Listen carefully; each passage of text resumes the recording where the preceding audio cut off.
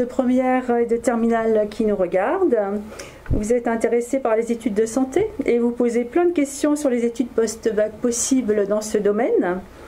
Vous avez dû entendre parler forcément de la réforme des études de santé euh, qui a commencé à se mettre en place cette année avec les licences PASS et LAS.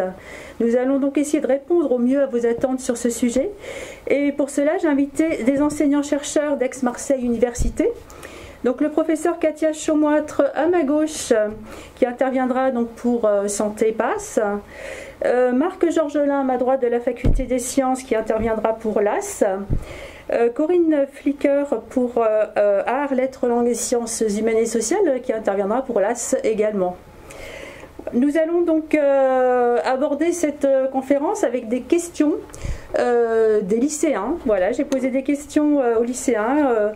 les lycéens m'ont posé des questions qui concernent donc les études de santé. Et je pense que leurs préoccupations euh, sont les vôtres. Donc nous allons répondre euh, à ces lycéens et vous répondre en même temps à travers ces questions. On va commencer donc euh, par une question sur les écuries, les classes prépa. il y a beaucoup de questions à chaque fois sur ce, thème-là. Euh, est-ce que la prépa ou l'écurie est une obligation euh, pour entrer en faculté de médecine? Et tout le long de la première année, euh, la L1, est-ce qu'on doit suivre une écurie? Qui veut répondre à ça? Madame Chaumotte peut-être. Alors pour le côté passe, donc le côté santé, effectivement les, étudiants sont souvent inscrits à des écuries, c'est totalement optionnel, hein, c'est pas du tout obligé de faire une écurie pour faire une première année de santé. Euh, en sachant que ce qui est important dans cette première année, c'est d'avoir un travail régulier, euh, intense, hein, il ne faut pas se cacher, hein, c'est une année euh, de travail très important, être très organisé dans son travail, être dans les temps, et donc finalement c'est ce que fait faire l'écurie, donc c'est d'aider l'étudiant, mais il n'a pas du tout une obligation d'être inscrit à des écuries, notamment privées. Pour l'aider, il a la possibilité d'avoir un soutien par la faculté de santé qui s'appelle le tutorat associatif euh, marseillais, le TAM, qui est bénévole et qui est organisé par des étudiants de, santé de deuxième et troisième année, qui aident les premières années tout le long de l'année en euh, justement leur donnant des méthodes de travail, en leur faisant faire des QCM d'entraînement, euh, en leur faisant des examens blancs. Donc c'est un bon moyen d'être d'être soutenu pendant cette année qui est quand même difficile, en évitant éventuellement de s'inscrire à des écuries privées. Il y en a énormément. Euh, mais ce n'est pas du tout indispensable, puisque ce qui est important, c'est le travail personnel. Ce n'est pas l'écurie qui va vous faire réussir, c'est votre travail personnel. L'écurie, elle va juste vous guider et vous aider dans votre euh, organisation de travail. Et donc, il ne faut pas hésiter à, euh, adhérer au tutorat associatif marseillais, qui est vraiment fait pour ça, avec des étudiants bénévoles qui s'en occupent. Et alors, pour compléter ce que vous venez de dire, si on est en LAS, euh, est-ce qu'on suit aussi ces écuries ou Alors, ça n'est pas la peine toujours de, enfin, dans, dans, les licences avec accès santé, il y a une partie qui est un module santé. Et pour ce module santé, le tutorat associatif euh, de santé s'occupe des étudiants de l'AS euh, à distance, puisqu'ils ne sont pas dans les mêmes facs, en leur faisant là aussi des cours, des QCM, des examens blancs. Donc pour la partie santé de la licence, c'est fait. Euh, par contre, pour le côté licence, je vais laisser euh, mes collègues des autres euh, facultés pour dire s'ils ont eux aussi dans les premières années de licence ces notions d'écurie. Je ne sais pas si ça existe en dehors de la santé. Alors non, ça, n'existe pas vraiment en dehors de, la santé, mais il faut savoir qu'il y a plusieurs types, plusieurs licences différentes avec Accès Santé. Donc il y a une très grande diversité. Et donc il n'y a pas euh, une écurie qui serait propre à chaque licence. Il faut savoir que les licences avec Accès Santé sont avant tout des licences. Et donc euh, une telle préparation devrait être spécifique à chacune de ces licences. Donc ce n'est pas du tout euh, l'objectif qui est visé. En revanche, on peut observer que certaines écuries commencent à s'organiser euh, pour un appui au niveau de la mineure santé. Mais ce sont des prémices euh, et sans doute que ça montera en puissance euh, pour l'année prochaine, mais ça commence un petit peu à s'organiser au niveau de la mineure. Mais évidemment, c'est beaucoup plus difficile pour les contenus disciplinaires des licences, puisque, comme nous l'avons dit, surtout à Aix-Marseille Université, notre université offre un grand choix de, LAS. Et donc là, c'est plutôt le, travail personnel, je confirme ce que dit Mme Chaumoître, qui va primer dans la réussite pour la discipline choisie en licence. Pour finir de répondre à la question de l'étudiant, il y a des étudiants qui se demandent aussi si ça, si ça a l'intérêt de faire une P0, c'est-à-dire de ne pas s'inscrire d'emblée, mais de faire une année de, préparation. Personnellement, je ne suis pas très convaincue en tout cas pour la passe, puisque ça demande, euh, c'est un travail intense mais court, et euh, ça me paraît difficile euh, d'arriver à faire ça à une P0, c'est-à-dire en étant déconnecté de l'inscription et simplement dans un système d'écurie. Donc je ne suis, pas, suis pas spécialement convaincue, en sachant que dans la réforme, on garde la possibilité d'avoir deux chances de rentrer dans les études de santé. Donc ça, ça reste présent dans la nouvelle réforme. Tous les étudiants ont deux chances de réussir. Euh, soit une chance en passe et après une chance en, LAS, puisque la passe ne se redouble pas, soit deux chances en LAS. Donc du coup, je ne pense pas qu'il y ait vraiment un intérêt à faire une P0, comme le propose de plus en plus, euh, euh, même de, lycées qui proposent déjà de, faire des, de, préparer les étudiants en terminale, et puis des écuries privées qui proposent des P0. Alors, autre question, combien de moyennes faut-il pour entrer en faculté de médecine alors l'entrée en passe, donc c'est pas faculté de médecine, hein, la passe c'est une entrée euh, dans euh, les études de santé qui regroupe plusieurs spécialités, donc médecine, euh, maïeutique, donc c'est sage-femme, odontologie qui correspond à dentiste, pharmacie et kinésithérapie. Donc ces cinq spécialités sont groupées dans la première année de passe. Donc on ne s'inscrit pas en médecine, on s'inscrit en passe ou en LAS, et dans les deux cas, on a l'accès de ces cinq parcours de santé euh, donc euh, c'est une année commune pour, ces cinq parcours de santé. Euh, après, cette inscription, que ce soit en passe ou en LAS, elle passe par Parcoursup. Et donc, comme tous les cas de Parcoursup, ce n'est pas une question de moyenne, il n'y a pas un cut-off précis. Il y a un algorithme de Parcoursup qui va prendre en compte les notes et les appréciations, la fiche à venir, enfin tout le dossier de l'étudiant.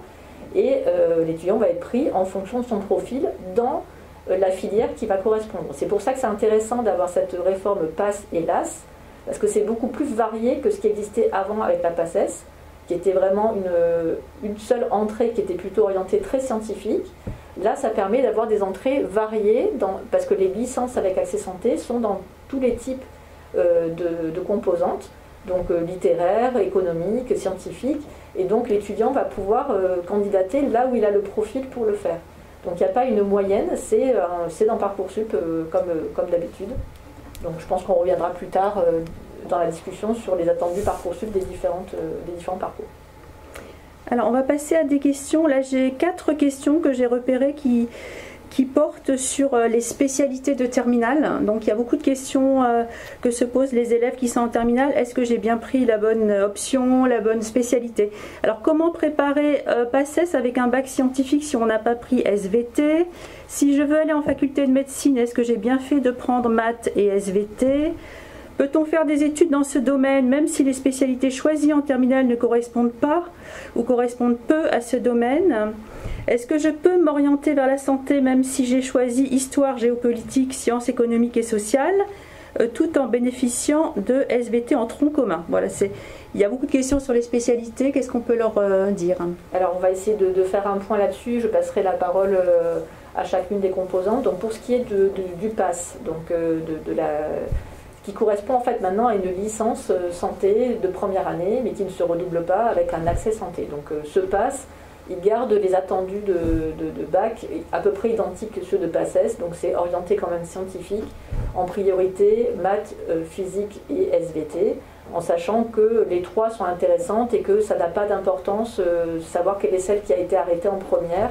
Euh, les, trois sont utiles, en sachant qu'on valorisera aussi les parcours scientifiques avec informatique et numérique et sciences de l'ingénieur, qui sont aussi des spécialités scientifiques. On prendra en compte bien sûr aussi euh, le côté littéraire de, l'étudiant avec ses notes de bac français, euh, sa fiche à venir.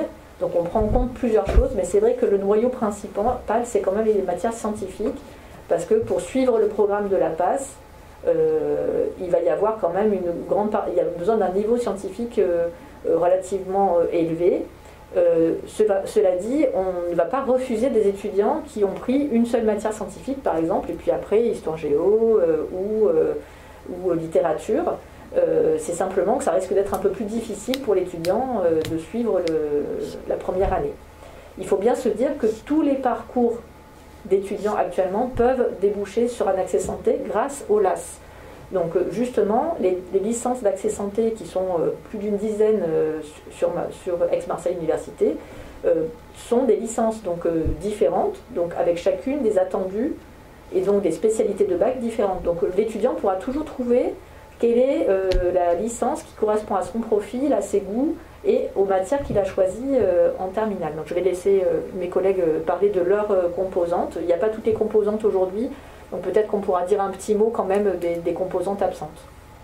Alors, je, vais commencer pour, la faculté des, sciences, qui quelque part se, rapproche un peu de médecine en termes des spécialités qui, sont, qui correspondent le mieux en terminale.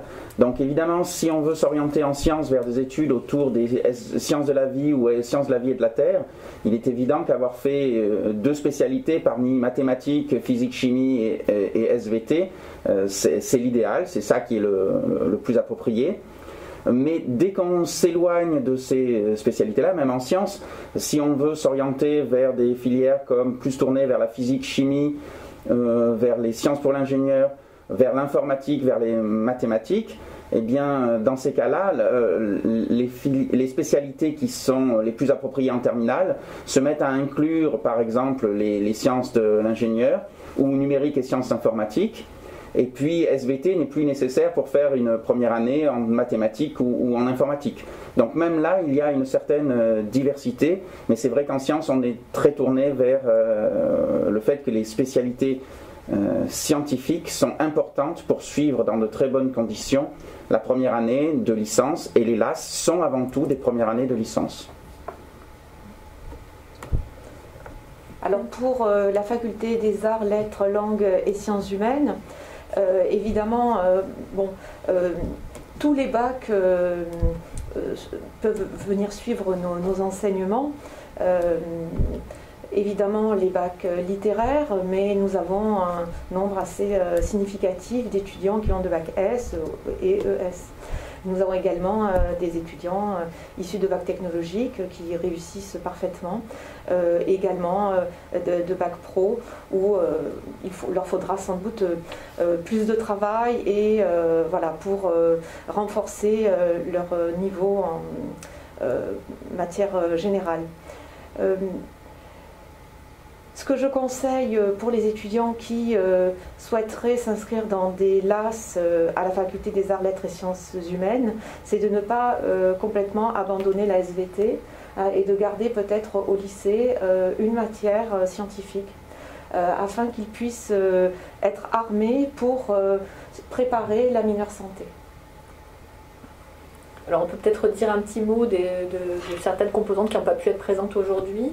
Donc euh, la composante de droit, donc en droit, euh, il y a aussi un accès euh, en, santé. Hein. donc vous avez une LAS droit avec accès santé. Donc en première année de droit, toutes les spécialités du lycée peuvent être utilisées pour aller en, droit. avec un point d'attention particulier pour l'option droit et grand enjeu du monde contemporain qui est adapté à cette filière, mais globalement ça peut être un peu toutes les spécialités et, je, rejoins, je rejoins Madame Flicker pour euh, peut-être garder un petit peu de scientifique pour la mineure santé. Il faut savoir que dans les licences euh, euh, avec accès santé, la mineure santé, ça représente un sixième des cours de l'année. Donc, et entre 30 et 40% de la note pour l'accès en santé, pas pour, forcément pour la licence, mais vraiment pour le classement avec accès santé, ça va compter entre un tiers et 40 pour être classé pour rentrer en santé, pas pour avoir sa licence en elle-même.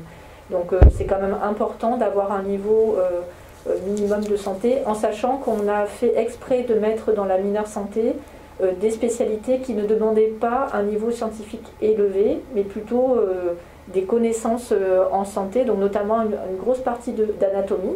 L'anatomie, tout le monde peut l'apprendre, hein, c'est pas du tout. Avant, les grands anatomistes, c'était des littéraires et, c'était des, gens qui étaient très bons en dessin.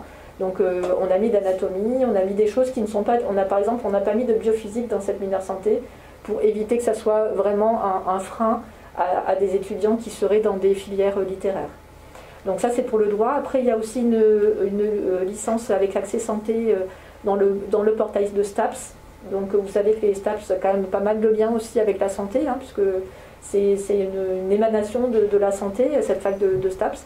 Et donc les spécialités sont à peu près les mêmes qu'en PASS, hein, donc SVT, physique, chimie, mathématiques, sciences de l'ingénieur. Euh, et je vais peut-être laisser Marc dire un petit mot pour la fac d'éco-gestion. Oui, alors, et puis en, STAPS, éventuellement, langue, littérature et culture étrangère peut être euh, quelque chose qui peut être euh, intéressant aussi. Pour la faculté d'économie et gestion, les spécialités scientifiques intéressantes sont essentiellement mathématiques, qui sont quand même quelque chose d'important pour faire, pour travailler dans le domaine de, l'économie et de la gestion. Numérique et sciences informatiques peut être aussi euh, intéressante. Et puis il faut penser aux spécialités un peu naturelles, les sciences économiques et sociales, l'histoire, géographie, géopolitique et sciences politiques. Euh, voire humanité, littérature et philosophie sont des spécialités qui sont intéressantes pour les parcours autour de l'économie et gestion. Très bien. Alors, question suivante. Euh, est-ce qu'on peut partir d'un DUT ou d'un BTS pour travailler dans le domaine de la santé?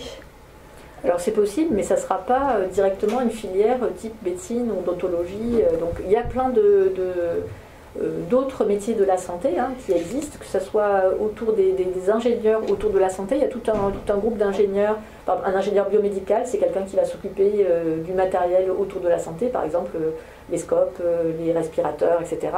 Euh, il peut y avoir aussi euh, des, euh, des, IUT ou des choses comme ça sur de la recherche autour des biomatériaux. il peut y avoir de l'industrie autour de la santé. Il peut y avoir tout ce qui est autour du soin du patient, donc tout ce qui est aide-soignante, soin du patient, mais ça ne sera pas directement médecin, ça sera des, métiers autour de la santé. Je pense qu'il y en a aussi dans les filières scientifiques ou littéraires qui peuvent être intéressantes. Tout à fait. Alors, je, vais prendre un exemple qui n'est pas directement dans, le domaine de, la santé, mais qui toutefois a, un fort lien. Euh, il s'agit du métier d'opticien lunetier. Donc ça, c'est un métier réglementé qui nécessite d'avoir fait un BTS d'opticien lunetier pour pouvoir exercer le, métier. Ce sont les personnes qui fabriquent les, lunettes, hein, chez qui vous allez acheter vos, lunettes, pour ceux d'entre vous qui ont le, malheur d'avoir des, lunettes sur les yeux en même temps qu'un masque. Euh, et donc, ça nécessite un BTS. Nous avons une préparation au, BTS à, l'Université d'Aix-Marseille. C'est un peu une exception. En général, les BTS se préparent dans des lycées, euh, dans des sections de techniciens supérieurs. Euh, et après le BTS, il peut y avoir une spécialisation dans des licences professionnelles qui donnent un diplôme à Bac plus 3 qui se spécialise un peu plus, par exemple autour de la santé, la santé visuelle dans ces cas-là. Je pense qu'on peut peut-être rebondir sur cette question aussi sur tout ce qui est le paramédical. Voilà, j'allais y venir. Les, questions qui, les questions qui arrivent après. voilà, alors comment ça se passe pour faire des études d'infirmier? Alors pour l'école d'infirmier, donc l'IFSI, euh, l'inscription dans l'IFSI se fait aussi par Parcoursup. Euh, il y a de multiples écoles d'IFSI euh, dans la région qui peuvent être soit indépendantes, soit liées à Aix-Marseille Université, donc les deux existent. Et euh, donc c'est euh, une inscription par Parcoursup et ensuite c'est trois ans d'études de, base. Et puis après, il y a plein de spécialisations euh, chez les infirmiers. on peut être par exemple infirmier de bloc opératoire, infirmier anesthésiste, infirmier, être puéricultrice ou puériculteur. Tout ça, ce sont des spécialisations qui se rajoutent au bloc de base d'infirmier. Alors, euh, j'ai trois questions sur le métier de kinésithérapeute. Alors, quelles sont les différentes voies pour intégrer des études de kinésithérapeute en post-bac? Je veux faire kinésithérapeute. Est-ce que je peux directement aller dans une école de kinésithérapeute après ma terminale? Pour faire kinésithérapeute, c'est mieux en Belgique ou en France? Alors, les études de kinésithérapie sont intégrées dans les études de PASS. Hein, donc, ça fait partie des cinq filières euh, dont on a accès par la PASS. Donc, euh, l'entrée est par une première année euh, de santé. après, il existe des, formations de kinésithérapie européennes, notamment en Belgique, en Espagne, voilà, et pour lequel, comme c'est européen, si on a le diplôme, ensuite on peut venir travailler en France. Mais en France, l'entrée sépare la première année des études de santé. Alors, euh, des questions aussi sur les, nombres de places. Euh, alors, quels sont les nombres de places euh, à MU Cette année, je crois qu'on ajoute Avignon et Toulon dans les nombres de places. Est-ce que Alors, vous pouvez parler deux de choses ça différentes. Le- les places d'inscription, vous parlez Oui, les places pour, pour s'inscrire sur Parcoursup. D'accord. Ouais. Donc sur Parcoursup, effectivement, donc, si on veut faire des études en santé, donc vous avez bien compris qu'il y avait deux, fois, deux voies. Donc par la passe, euh, cette année, il y aura 1510 euh, places dans Parcoursup, donc à peu près euh, équivalente à l'année dernière. L'année dernière, il y avait eu en fait des places rajoutées en raison du Covid et du, du résultat- du bac qui était exceptionnellement haut, mais le point de départ c'était 1500, donc on, on repart sur 1510, donc à peu près la même chose. Donc quand vous choisissez sur Parcoursup en passe, vous allez choisir votre mineur licence, puisque c'est le, le miroir avec les LAS. Donc en passe, vous avez la majorité des cours qui sont des cours de santé et un sixième des cours qui correspond à la mineure licence que vous allez choisir. Et au moment où vous inscrivez sur Parcoursup, vous allez avoir passe avec chaque mineur qui va apparaître et à vous de choisir les mineurs qui vous, qui vous conviennent. Je vous conseille tous de choisir plusieurs mineurs et pas une seule, puisque sur les 1500 places, certaines sont pour chaque mineur, et si vous n'en choisissez qu'une seule, vous pouvez ne pas être pris, alors que vous auriez pu être pris en passe avec une autre mineure. Donc il faut vraiment mettre plusieurs mineurs, voire même quasiment toutes les mineurs, euh, sauf celles qui ne vous correspondent pas du tout. Donc par exemple, vous allez choisir passe mineur droit. Donc vous allez avoir un- un- une année avec essentiellement euh, des cours de santé, un sixième de cours de, droit, et cette mineure droit, elle va vous servir si jamais vous ne rentrez pas dans votre, euh, en médecine par exemple, mais que vous avez la moyenne à votre année et la moyenne à votre mineur, ça vous permettra d'aller directement en L2 de droit, s'il y a suffisamment de place, mais je ne suis pas très inquiète, je pense que ça se passera bien. Euh, et euh, donc de ne pas perdre d'année et de vous retrouver en deuxième année de l'AS droit et d'avoir une deuxième chance de présenter le concours, soit en deuxième année, soit en troisième année. Donc c'est le principe de ces mineurs, c'est le principe de faire des passerelles dans tous les sens. Donc sur le parcours sup passe, c'est 1510 places. Sur les parcours LAS, c'est 819 places de LAS euh, dans Parcoursup, en sachant que sur ces 819 places, il y a 170 places qui sont euh, de Avignon et Toulon. Ça, c'est une nouveauté cette année. Ça n'existait pas pour euh, Parcoursup l'année dernière. Cette année, Avignon et Toulon ont décidé d'ouvrir des places en LAS, ce qui permet aux étudiants qui habitent Avignon et Toulon de tenter de, faire une entrée en santé en restant dans leur ville et euh, avec deux chances en LAS, puisqu'ils pourront faire deux chances en première, deuxième ou troisième année, ils ont deux chances. Euh, ce qui est euh, très intéressant pour les étudiants pour éviter de devoir venir sur, Marseille pour leurs études, sur quelque chose de sélectif, au moins ils peuvent rester chez eux. Donc euh, ça c'est les, pour les LAS, donc 819 places, donc un peu plus que, cette année, puisque cette année on n'en avait que 640. Donc on a, on a augmenté le nombre de LAS. C'est normal d'augmenter ce nombre, puisque au fur et à mesure de la réforme, le pourcentage de places réservées à PASS et LAS va évoluer pour être autour de 50-50 euh, dans euh, deux ans. Donc c'est normal qu'au fur et à mesure, on rééquilibre ces deux voies pour que la difficulté soit équivalente. Est-ce que c'est la même chose pour toutes les universités de France ou c'est spécifique à Aix-Marseille Université, ces quotas de, de Alors les quotas de place, c'est dans la réforme. Donc la réforme était euh, deux ans de transition. Donc pendant ces deux ans de transition, donc cette année et l'année prochaine, une voie peut aller jusqu'à 70%, mais on choisit la voie qu'on veut. Donc euh, sur Aix-Marseille Université, on a choisi que c'était le pass qui était privilégié, qui est à 70% des places cette année et l'année prochaine qui sera probablement entre 60 et 70%, pour petit à petit aller, une fois la transition passée, à euh, maximum 50% dans la même voie. Donc ce qui veut dire que, euh, pas l'année prochaine, mais l'année d'après, le PAST aura 50% des places et les 50 autres des places seront répartis entre l'AS 1, l'AS 2, l'AS 3. Et puis il y a des petits quotas de places pour les étudiants étrangers et euh, pour les passerelles tardives, donc des gens qui ont fait d'autres études, par exemple ingénieurs et qui tardivement veulent retourner en médecine, et un petit peu de place aussi pour des paramédicaux. Vous voulez rajouter quelque chose? Oui, les, les- les places en LAS, il faut bien comprendre qu'il y a une très très grande diversité de LAS et donc les places sont, sont réparties dans un grand nombre de filières différentes. Donc même s'il y a euh, plus de 800 places, dans chacune des, des- des filières en question, vous verrez rarement plus de une ou deux dizaines de, de- de places en tout. Euh, donc ça va vous paraître très petit si vous regardez une seule filière, mais l'ensemble fait 800 places et c'est bien ça qu'il faut garder en tête. Euh, L'importance là, c'est la diversité et donc c'est le nombre de places totales. Si vous n'en regardez qu'une, vous aurez l'impression d'en avoir très peu. Si je prends l'exemple de notre portail qui est Pasteur, qui tourne autour de, des sciences de la vie et des sciences de la vie de la Terre, si vous regardez à Aix-en-Provence, vous trouverez 20 places. Donc vous allez trouver que c'est très peu. Euh, pour la filière qui propose le plus de places en LAS. Mais vous regardez, il y a aussi 65 places à Marseille-Saint-Charles et 65 places à Marseille-Lumini, ce qui fait 150 en tout.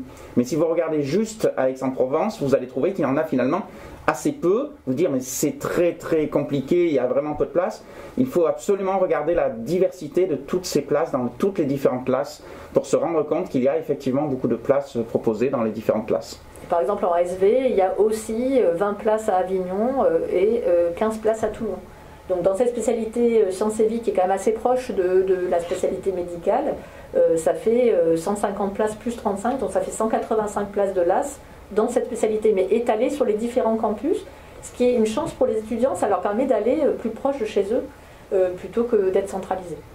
Euh, alors quand même un élément important, comme on l'a dit, euh, qu'il faut euh, surtout sur Parcoursup proposer un vaste choix de passes euh, c'est le même conseil pour les LAS parce qu'il euh, y a des LAS plus saturés que d'autres. Hein. par exemple, cette année, on peut pas dire que Pasteur a eu beaucoup de succès. Euh, c'est normal, effectivement, la biologie est proche de la médecine, donc on peut comprendre que certains étudiants fassent ce choix. Mais surtout sur Parcoursup, ne vous fermez pas des portes et diversifiez vos LAS autant que possible, évidemment en fonction de vos goûts, mais ouvrez un maximum de LAS dans vos choix. ça vous permettra voilà, de,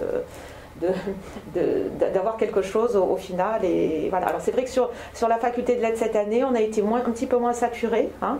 euh, mais quand même, il y a un nombre de places euh, limité. Et donc, euh, sur certains portails, à un moment donné, il y, a, il y, a des refus.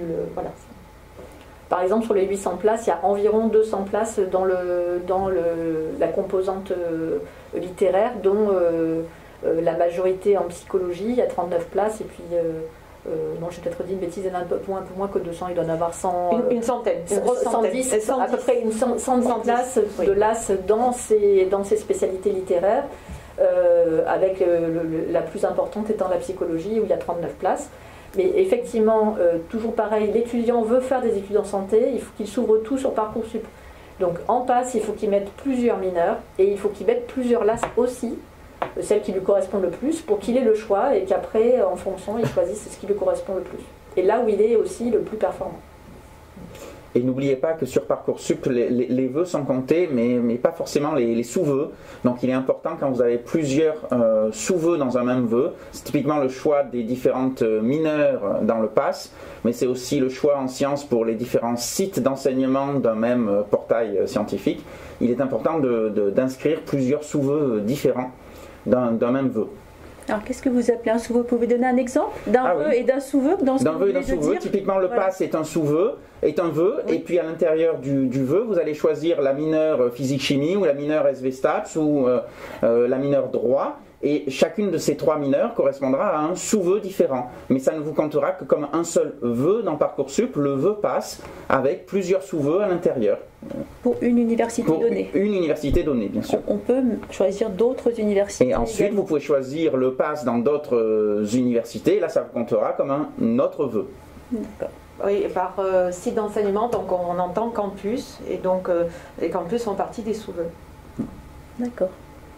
Alors par exemple, euh, pour reprendre SV, euh, quand on choisit LAS SV, c'est un vœu. Et après, si on met les différents sites des campus, puisque comme on vous l'a dit, c'était sur différents endroits, c'est des sous-vœux. Donc vous avez intérêt, si vous voulez faire une LAS SV et que ça ne vous dérange pas d'être euh, à un endroit ou à un autre, de mettre les différents campus.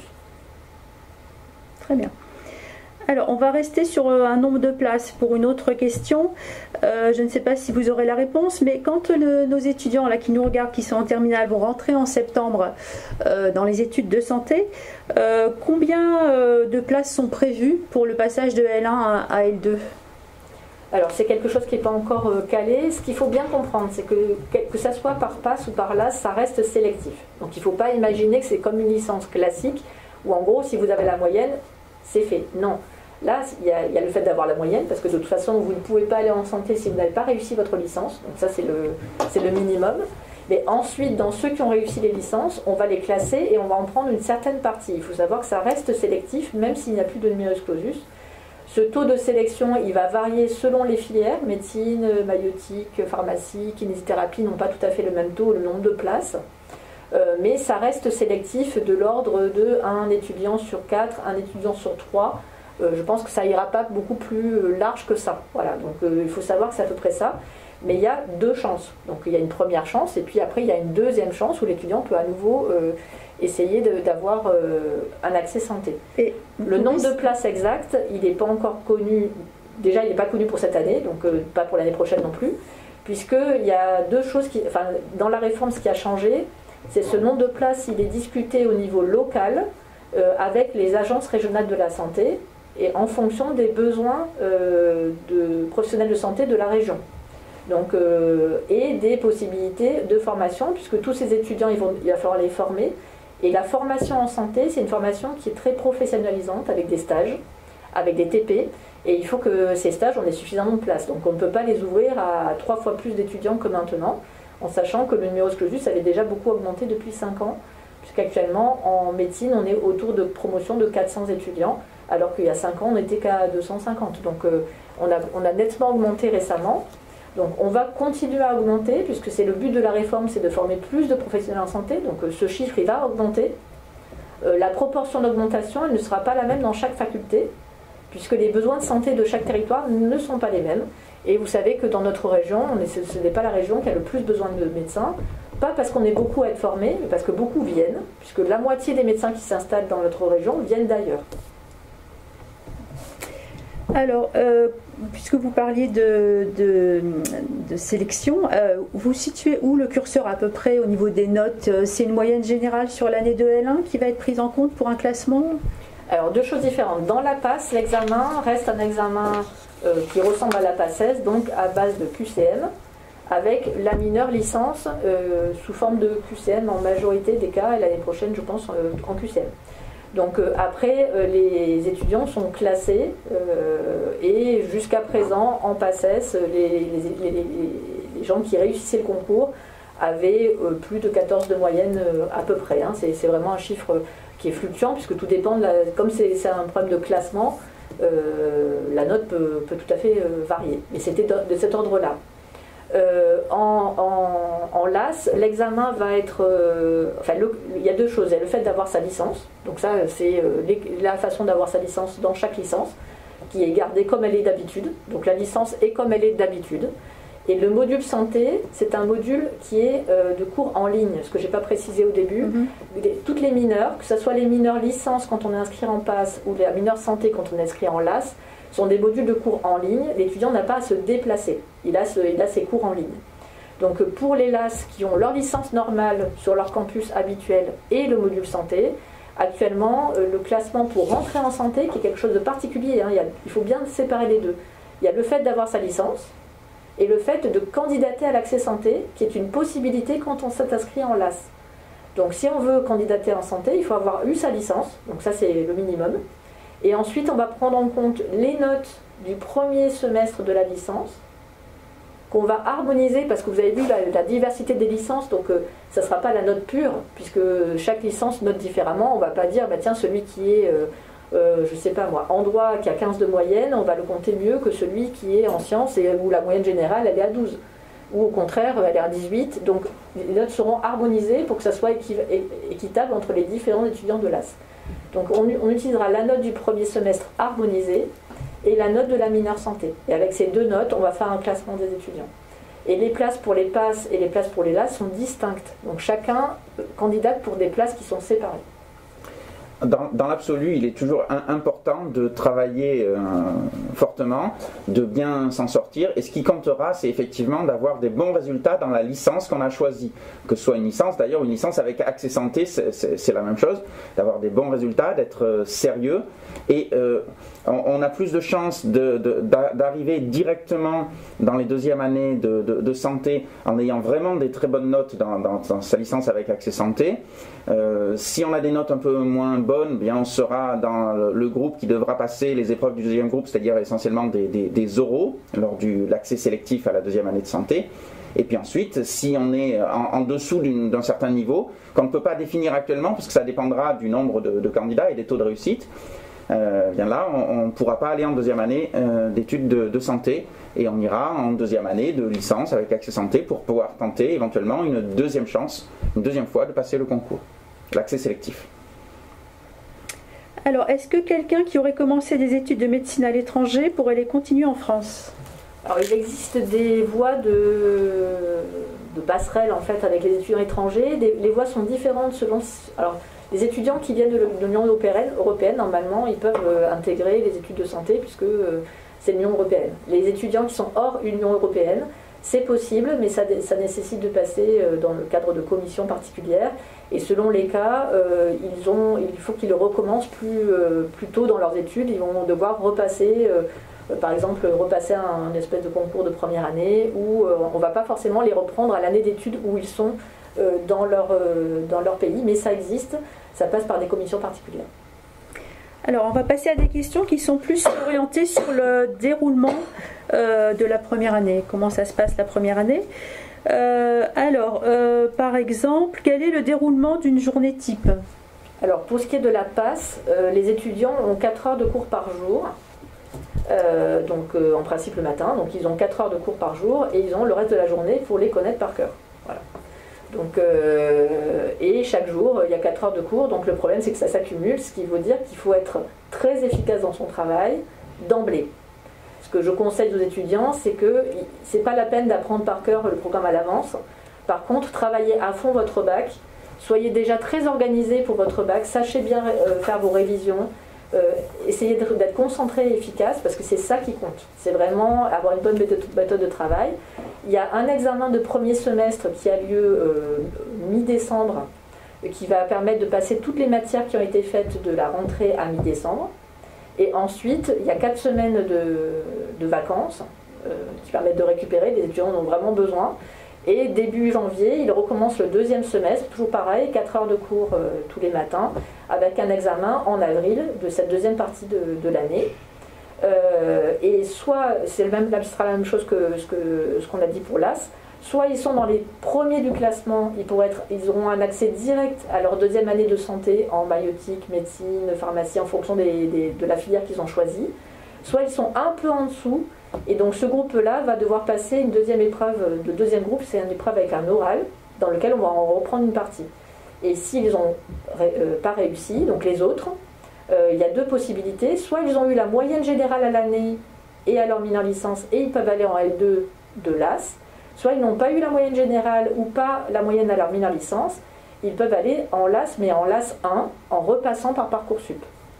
Après, pour ce qui est des examens de licence, ce sont des licences classiques. Donc les examens sont comme la licence habituelle, donc chaque licence a des examens tout à fait différents. Hein. Euh, il peut y avoir des examens sous forme de dissertation, il peut y avoir des examens sous forme de contrôle continu, il peut y avoir des TP, ça, dépend vraiment de la licence. Et par contre, la mineure santé qui est commune à toutes les licences avec accès santé, euh, donc les cours sont en ligne et l'examen est sous forme de QCM à la fin de l'année. Euh, ensuite, la diversité des, licences correspond aussi à une diversité de modes de, fonctionnement. Euh, en sciences, on n'a pas cours euh, tous les matins, on a cours matin et après-midi tous les jours de la semaine, du lundi au vendredi. Alors il n'y a pas cours le samedi, mais on a cours 10 demi-journées par semaine. en général, c'est de l'ordre de 6 heures, 6 heures par jour de cours, de travaux dirigés, de travaux pratiques. Donc ça, ça se répartit, mais c'est le cas de toutes les licences euh, habituellement dans euh, le secteur sciences. Oui, c'est la même chose euh, pour la faculté des arts, lettres, langues et sciences humaines. Il y a une très, grande variété d'offres de formation, donc une très, grande variété eh bien, de, de, méthodologies différentes en fonction des disciplines. en revanche, on a cours de façon assez étalée sur la semaine.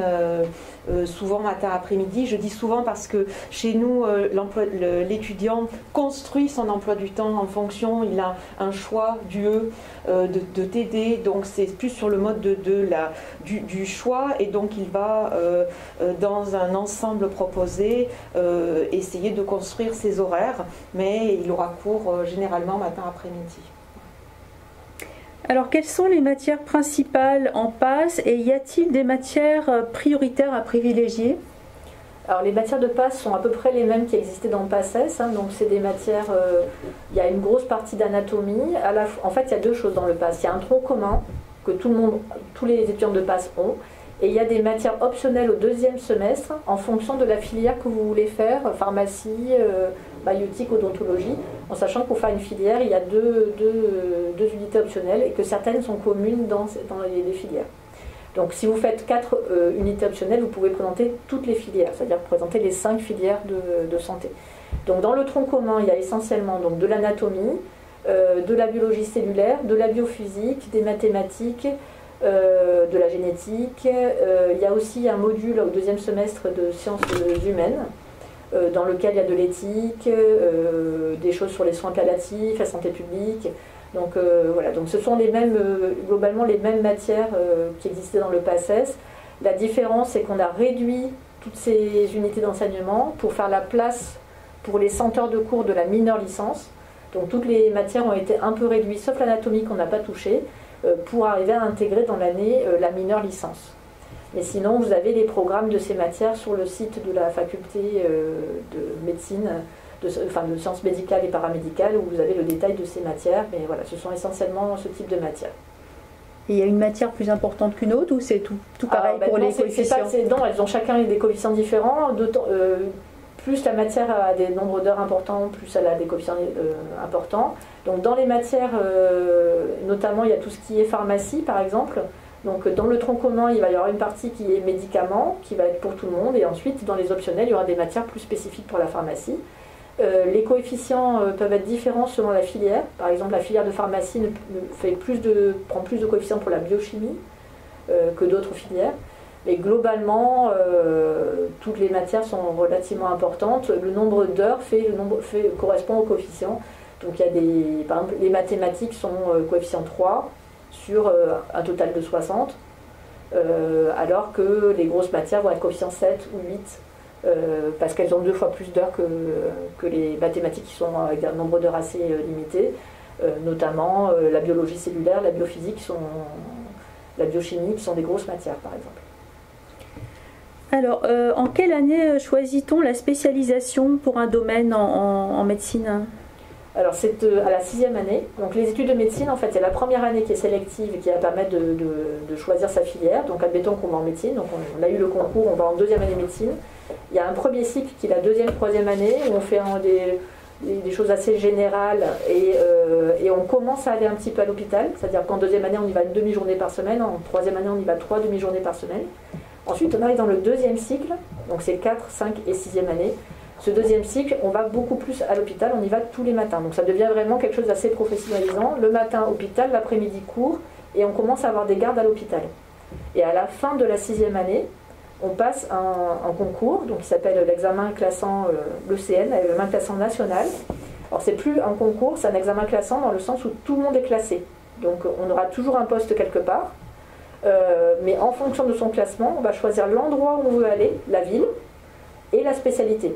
Donc après, si par exemple on va absolument être cardiologue, on peut décider d'être cardiologue en allant euh, n'importe où en France et donc cocher en fait qu'on veut n'importe où en France ou au contraire dire ben, je veux absolument rester à Marseille et à ce moment-là choisir ce qui nous reste en fonction de son classement. Donc cet examen classant il est en fin de sixième année et à partir de là on a la spécialité, sachant que la majorité des places sont médecins généralistes, hein, qui est devenu une spécialité à part entière. Et après, il y a toutes les spécialités chirurgicales, médicales, psychiatrie, médecine du travail, enfin toutes les spécialités possibles. C'est très très varié la médecine. Et à partir de là, on commence ce qu'on appelle l'internat, qui va durer entre 3 et 5 à 6 ans selon la spécialité. Alors, quelles aptitudes sont nécessaires pour réussir en médecine? Donc des aptitudes personnelles, des qualités personnelles. Euh, ben, comme on l'a dit, hein, euh, une grande capacité de travail. Donc ça, euh, ça c'est indispensable. être très organisé. après, être très curieux, ouvert. Ça, c'est, en fait, il y a deux choses différentes. Il y a le fait d'avoir le concours, qui demande une grande capacité de travail, et après, il y a le fait d'être médecin, qui demande une capacité de soigner, de vouloir soigner. C'est quelque chose de vraiment particulier, d'avoir de l'empathie vis-à-vis des patients. et d'être enfin, d'être assez solide parce que ça peut être très difficile de voir les gens souffrir, de voir les gens mourir. Donc c'est une spécialité qui n'est pas facile. Mais il y a beaucoup de diversité et donc n'importe qui peut trouver son bonheur en médecine puisque quelqu'un qui par exemple est dans l'action va vouloir être par exemple chirurgien viscéral, va vouloir opérer le patient, opérer la tumeur, et quelqu'un qui par contre est plus dans la réserve peut choisir d'être euh, anatomopathologique, donc euh, regarder les, lames euh, pour analyser les, tumeurs sans voir le patient, ou être biologiste, dans ce cas-là ne verra pas le patient. Quelqu'un qui aime par contre être très en contact va faire peut-être psychiatrie. Donc tout est possible, on peut toujours trouver une spécialité qui corresponde à son, à son tempérament. Alors pour terminer, trois questions. Faut-il vraiment sacrifier un an de sa vie euh, la première année? Euh, Comment rester motivé euh, pour faire 10 ans d'études Et comment arriver à, gérer la pression? Voilà des questions qui sont un peu connexes. Alors, pour la première année, il faut être, faut être réaliste. C'est une année où on fait que travailler. Mais elle est courte, puisqu'on rentre en début septembre et on finit mi-avril. Donc c'est une année qui est, qui est, courte. Et après, euh, les étudiants, ils finissent mi-avril. Si tout se passe bien, qu'ils n'ont pas les examens de rattrapage et tout, ils ont 4 mois de vacances pour s'en remettre. Mais c'est une année très intense. Donc ça, on ne peut pas dire autrement. Ça veut dire que euh, ça va être à peu près entre 12 et 14 heures de travail par jour en comptant les heures de cours à l'intérieur. Donc ça, c'est la première année de passe, elle est comme ça, on ne peut pas, voilà. Euh, même les gens brillants, on n'a pas la science infuse, il faut travailler, il faut travailler régulièrement. Et il faut se dire que c'est le premier trimestre est court, après il y a l'examen, 4 semaines de, vacances pour s'en remettre, et re deuxième trimestre, enfin semaine, quadrimestre. Donc euh, c'est une année difficile. Après, la durée des études, elle passe très vite. Parce que comme je vous ai dit, c'est des études professionnalisantes, donc très rapidement, on se retrouve à être à l'hôpital le matin et à, avoir des cours l'après-midi. Et les années passent très vite et c'est n'est pas des études longues. Ça, euh, c'est vraiment des années qui passent très vite. Du moment qu'on est passionné par ce qu'on fait, euh, ça se passe très bien. Donc ça, le côté long des études n'y est pas parce qu'en fait, finalement, très rapidement, on est dans le côté professionnel. Donc ça, euh, ça, ça pose pas de problème. Et après, la première année, elle est dure, ça c'est sûr. Et après, les premières années de licence sont difficiles aussi. C'est tout à fait différent. Hein. C'est euh, pas la même façon de travailler, mais avoir réussi, bien réussir sa licence, quelle que soit la licence, ça nécessite d'être très concentré, d'être travailleur, après, dans des, habitudes de travail différentes, parce que c'est vrai que quand on demande des un travail rédactionnel de 4 heures, ça ne nécessite pas du tout les mêmes choses que d'apprendre pour des QCL, c'est deux choses différentes. Oui, euh, ça demande aussi du travail régulier, donc ça c'est vraiment important. Il ne faut pas se laisser déborder la première année en fait, parce qu'en fait le côté fac, le côté, les cours ne sont pas obligatoires, hein, euh, que ce soit en passe, en licence je ne sais pas, mais en tout cas en passe, ils peuvent très bien ne jamais mettre les pieds en cours s'ils ont envie personne ne va vérifier qui vient en cours. Donc c'est à eux de ne pas se laisser déborder, euh, de, suivre les choses au fur et à mesure. Et ça, c'est pas facile quand on sort du système euh, lycée très calé, euh, très carré. Et c'est ce qui est difficile aussi dans les licences parce qu'il faut, il faut s'habituer à ce nouveau rythme. Peut-être je rajouterai deux choses. la première, effectivement, c'est que je dirais que pour les LAS, il faut aborder la LAS avec l'esprit du pass. Mmh. Voilà si vous n'abordez pas la LAS avec l'esprit du pass, avec le, même esprit peut-être de compétition, il faut quand même le dire, c'est un concours, hein, et de capacité de travail, de rythme de travail, alors il ne faut pas choisir l'AS. En fait, nous on le voit cette année, hein, parmi mes étudiants, euh, certains s'aperçoivent que finalement, bon, ben, ils sont en licence, ils vont rester en licence, mais le LAS, c'est pas trop finalement euh, l'esprit euh, avec lequel ils, abordent leur licence, et je pense qu'ils n'ont pas été dans la compétition assez, tôt dans l'année. Euh, la deuxième chose, c'est que si on choisit un LAS euh, en lettres, euh, arts, langue et sciences humaines, eh il y a un, très gros travail personnel de lecture. Hein. Euh, on fournit en, complément de nos cours beaucoup de conseils bibliographiques. Donc ça demande, quelles que soient les disciplines, que ce soit les lettres, la philosophie, l'anthropologie, l'ethnologie, peut-être qu'on aura le temps peut-être tout à l'heure d'énumérer rapidement nos, portails. Euh, il y a vraiment un, gros travail euh, personnel qui ne s'effectue pas à l'université, ou alors qui s'effectue à la bibliothèque universitaire, qui s'effectue chez soi, mais vraiment un gros travail de lecture, quelles que soient les disciplines de sciences humaines. Voilà. Alors, sur la quantité de travail, il y a effectivement peut-être un, choc entre le, lycée, la terminale et la première année de, ou, du supérieur où on va travailler beaucoup. Mais c'est vrai que c'est le cas dans de nombreuses filières. Donc, c'est particulièrement le cas en première année de, passe ou, de l'AS parce qu'il y a un accès sélectif à la fin de l'année, mais c'est le cas dans d'autres filières qui sont assez effectivement sélectives. Donc dans d'autres filières sélectives, c'est le cas aussi. On peut penser aux, classes préparatoires aux, grandes écoles, les Matsup, Matsp. Il y a des filières sélectives à l'université aussi qui demandent beaucoup de travail.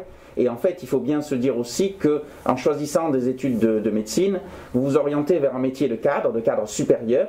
Et comme un certain nombre de métiers de cadre supérieur, euh, vous n'allez pas travailler simplement trois heures par jour dans, la journée, hein, ça sera beaucoup de temps de travail. Et, donc c'est bien ça qu'il faut se dire, c'est qu'à terme, euh, le travail qui vous sera demandé sera de toute façon euh, important. Et ça, c'est assez commun, un certain nombre de, métiers, de, cadres, de cadres scientifiques, de cadres médicaux, de médecins, toutes les formations euh, autour de, ces domaines sont des formations qui vont demander, des métiers qui vont demander beaucoup de temps de travail derrière. Donc c'est une habitude à prendre, un peu brutale après le lycée, mais c'est une habitude à prendre. Très bien, donc nous avons fait le tour à peu près de toutes les questions. Nous allons prendre un petit temps pour conclure cette euh, conférence. Si vous voulez conclure, je vous laisse la parole. Euh, donc euh, bah, j'espère que ça a été assez clair pour les étudiants euh, ce côté nouvelle version de la réforme, c'est-à-dire vraiment le fait qu'on peut faire ces études de santé dans ces deux voies différentes, donc d'un côté la passe et toute la, variété des LAS qui existent, et on a la chance d'en avoir beaucoup à Aix-Marseille Université. Donc le but étant quand même d'un accès sélectif, donc ça veut dire être dans les meilleurs, et être dans les meilleurs, ça veut dire choisir la voie dans laquelle on sera à l'aise, dans lequel on aime ça et dans lequel on sera euh, capable de bien travailler et d'avoir des bons résultats. Donc, quelle que soit la voie choisie, il faut vraiment choisir euh, la voie dans laquelle on, est le, mieux. Et l'intérêt des LAS, c'est justement pour les étudiants qui n'ont pas le profil euh, scientifique SVT, maths, physique de la passe, c'est de trouver la LAS qui va lui correspondre pour bien réussir sa première année. donc je vous rappelle simplement donc cette, cette réforme, la passe ne se redouble pas, donc quand on s'inscrit en passe, on ne peut la passer qu'une seule fois. Soit on réussit l'entrée en santé, soit on continue dans le parcours LAS, dans lequel on aura une deuxième chance. Et on peut choisir d'emblée euh, d'aller dans le parcours LAS. Et à ce moment-là, les deux chances seront dans le parcours LAS en L1, L2 ou L3 euh, euh, du parcours de, LAS. Donc je pense que c'est la chance de ce système de passerelle, c'est justement, le but c'est d'avoir des étudiants en santé qui soient plus divers, d'origine plus diverses, et aussi de limiter euh, les échecs, puisqu'on avait beaucoup d'échecs euh, avec la PACES qui se redoublaient, et on avait donc euh, beaucoup d'étudiants qui faisaient deux ans de PACES et qui rataient, et qui n'avaient rien ensuite, qui n'avaient pas d'équivalence. Là, cette passe actuelle, même si on n'a pas l'accès santé, du moment qu'on a la, moyenne à la fin, on peut la considérer comme une première année de licence, et donc c'est une première brique dans le, le parcours de l'étudiant. C'est pas un échec, ils ont déjà eu leur L1 et ils peuvent continuer dans les L2 LAS euh, pour avoir une deuxième chance. Et si jamais ils n'arrivent pas, ils continuent dans leur licence et ils auront leur licence, la possibilité de faire des masters, la possibilité de faire beaucoup d'autres formations. Une petite conclusion pour la Oui, si vous voulez vraiment faire, des études de, santé, réfléchissez, choisissez la voie qui vous correspond, la voie qui va euh, vous convenir le mieux pour atteindre l'objectif euh, que, que vous vous êtes fixé. Oui, je ne veux que confirmer dans ce que mes collègues viennent de dire. Et peut-être, euh, euh, euh, ça aurait été intéressant qu'on puisse au moins nommer les portails. euh, Allez-y, voilà, rapidement. C'est-à-dire chez nous, on en a. C'est la faculté des arts, lettres et sciences humaines qui en, a le, plus. Donc nous avons quatre portails euh, qui montrent vraiment hein, le vaste choix qui s'offre à vous. Euh, portail sciences du langage lettres, portail philosophie, anthropologie, lettres, portail sciences de l'homme et de la société qui comprend histoire, géographie et aménagement, anthropologie, ethnologie et sociologie. Et enfin, le portail psychologie. Très bien, bah, nous allons donc conclure cette visioconférence. Merci à vous d'être intervenus et on vous dit au revoir à tous et à toutes. Merci, au revoir. Au revoir.